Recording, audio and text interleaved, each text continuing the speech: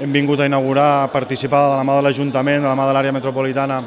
i de la Generalitat de Catalunya, hem vingut a inaugurar aquest Congrés de l'Aire, aquest primer Congrés de l'Aire. Crec que és una fita important perquè la contaminació, el canvi climàtic són uns elements que avui estan a la vida quotidiana de totes les persones que estem convivint en el planeta i crec que és realment interessant i importantíssim que hagi tingut la iniciativa l'Ajuntament amb la col·laboració, com dic, amb les diferents administracions per asseure gent que en sap molt sobre aquest tema, gent experta amb els temes del canvi climàtic i de la contaminació de l'aire.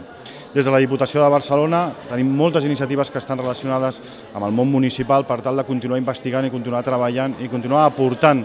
solucions a tots els temes relacionats amb el canvi de l'aire.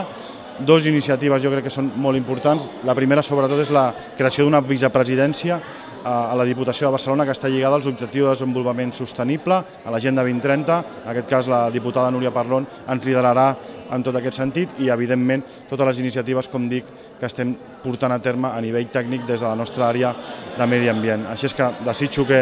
que tinguin un bon congrés, que surtin moltes idees, aquí hi ha gent, com insisteixo en la idea, gent molt experta en tots aquests temes, que crec que pot aportar moltíssim al conjunt de propostes i iniciatives que hem de dur a terme. Però aquestes propostes i iniciatives necessiten de recursos, necessiten de recursos públics per tal que es puguin aplicar i nosaltres des de la Diputació de Barcelona continuarem treballant amb el món municipal i col·laborant amb totes les administracions perquè aquestes iniciatives es puguin dur a terme.